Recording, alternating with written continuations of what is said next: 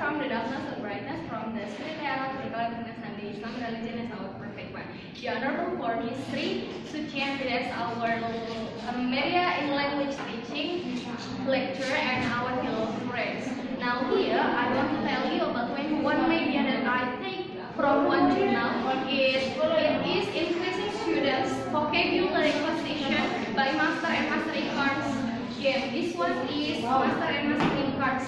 You know that uh, here I just want to tell you about the vocabulary. Why we have to know the vocabulary in learning English. When we want to speak English or learning English, you, um, at least we have to know what is the meaning of one sentence or what is uh, the usage or the function of on one sentence. Uh, the Dimitri of 2008 and 8 uh, said that of learning English is how we know the vocabulary in English. At least if we want to speak or know uh, or do some task in English, we have to know the vocabulary of the meaning of uh, the English. And here I take two games of here this there are two levels here. The first one just for the senior, uh, junior high school or or senior high school, the second is for for the college students. But here I just want to tell to your the apply the application of of of this game is okay. Let me tell you about this game first.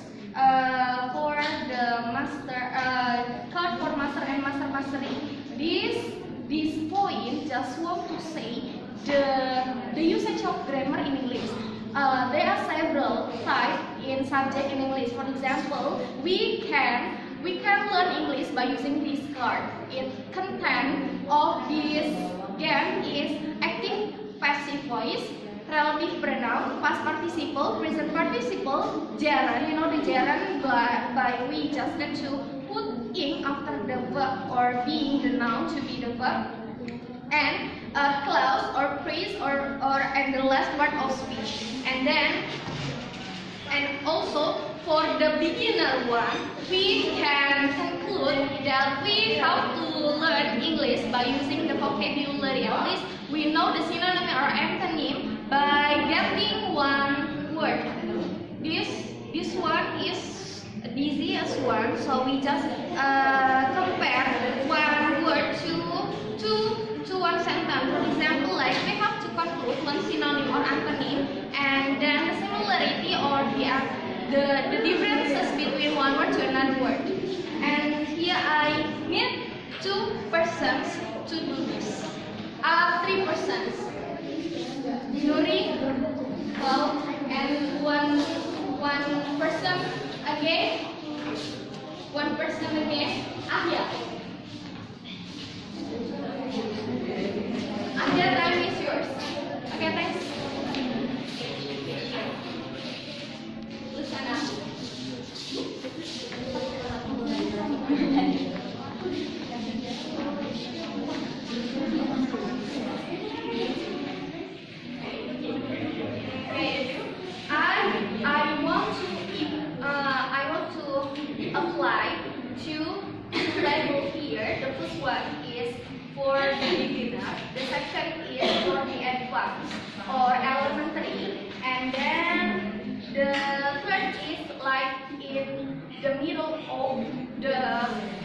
For example, like elementary school. And both are at elementary. This one.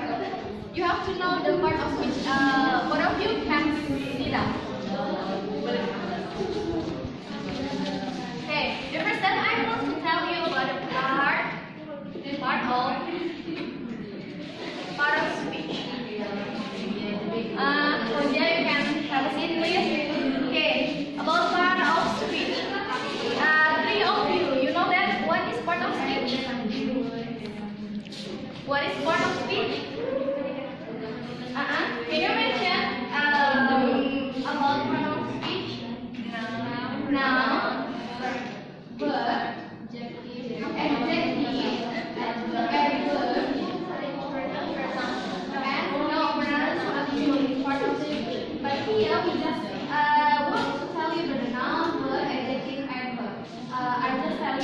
the, ele- the, el- the elementary school. The noun of one word. You can stand up here. Come here, please. Yeah, yeah. Okay, I will give you one uh, one box. It includes uh, some cards or many cards. It consists of noun, verb, adjective, and adverb. Consists of a part of, of speech in one word. So I will random this card, and also you have to div- divide one word to another part of speech. Uh, as good as you can do it, you have to do faster as uh, you can do. Okay. Uh, for the example, I will uh, begin the explanation to you about one word. For the example, the noun is beauty. What is the verb of beauty? Adjective. And verbnya apa? And uh, sorry, verb of beauty. Verb. We can make here beauty or cantikan and to be the verb adjective or adverb. Okay, adjective for beauty. What is the adjective for beauty? Beau- Beautiful. Beautiful. And the verb. The verb of beauty is beautify. And also adverb, beauty. Usually adverb we just need to add ly uh, after the the word. Beautifully. Beautifully. Okay, thank you. This is uh, one of the example of one. You know that uh, you have to know the word and the meaning of the word and you have to combine the verb, adjective, and verb. At least you can know the similarity of the word family. They have the similarity, just make it the differences between uh, after or the last of the word. Okay? For example, like, uh, can you help me make it uh, different uh, to help us to do this. Game?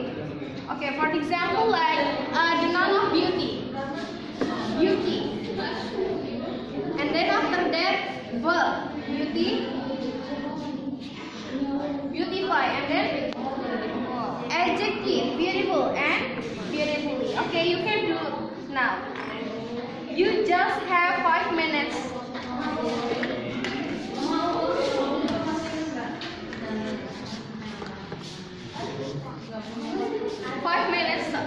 more.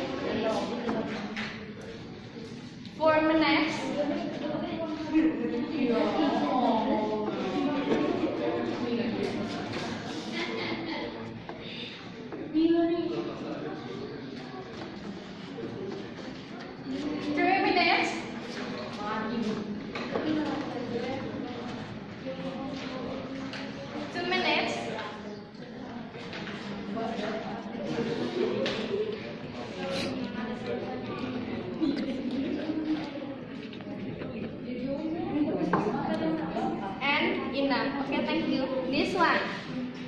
So you can know part of speech in one word by using this card.